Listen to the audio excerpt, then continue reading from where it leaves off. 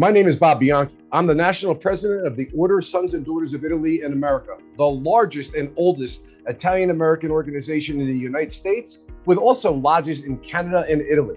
It's my great honor to preside over the Supreme Lodge as the national president and also as the chairman of the board to our two arms of the organization, the Sons of Italy Foundation, which has donated tens of millions of dollars for charities, scholarships, veterans, and all sorts of positive causes as well as the other arm of the organization, which is the Commission for Social Justice. That's our anti discrimination and positive image arm of the Order Sons and Daughters of Italy in America.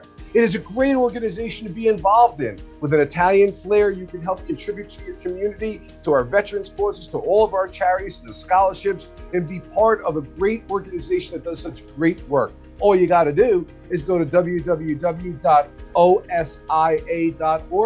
and join the party. We'd love to have you. Thank you.